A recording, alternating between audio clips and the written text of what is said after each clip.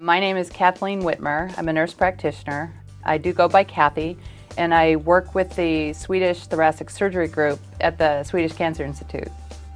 I help facilitate and coordinate the care of surgical patients coming into surgery at Swedish through the hospital stay and most importantly manage their recovery after they leave the hospital. The surgical recovery is a pretty defined length of time.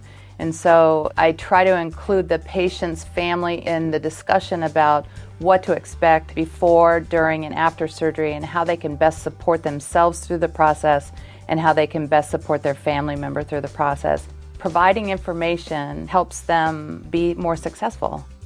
One of my areas of expertise is in pain management, and so I am often the one making recommendations about pain management during the hospital stay and definitely after they get out of the hospital, trying to manage their pain and help them wean off of their pain medicines and get back into their normal activities at home.